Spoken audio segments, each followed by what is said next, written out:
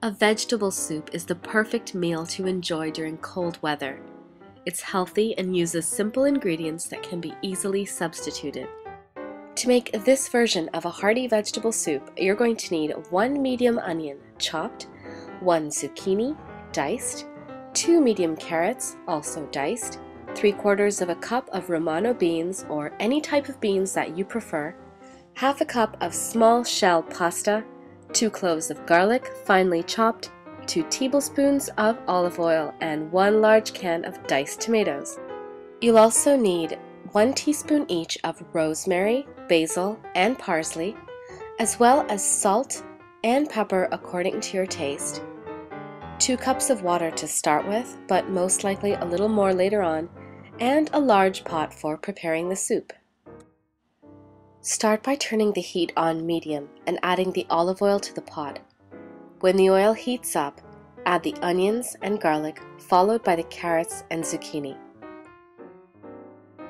Now add the rosemary, basil, and parsley and season with a little salt and pepper. You may choose to add a little water if you think it's necessary. Then cover and cook on medium-low for 3 to 4 minutes.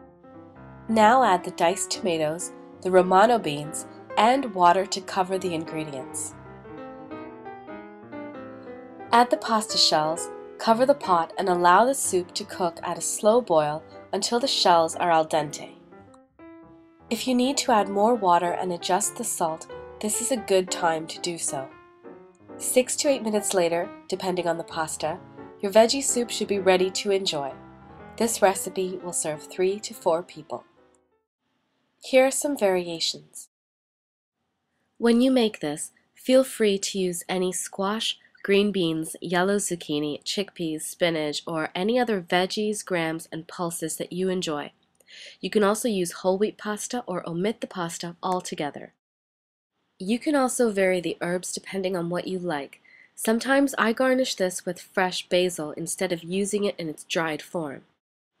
Finally, if you prefer to make this using fresh ingredients, then use 2 to 3 fresh diced tomatoes and vegetable stock instead of water. For more recipes, please check out my blog at www.aneelamaharaj.com and stay tuned by subscribing. Thanks so much for watching.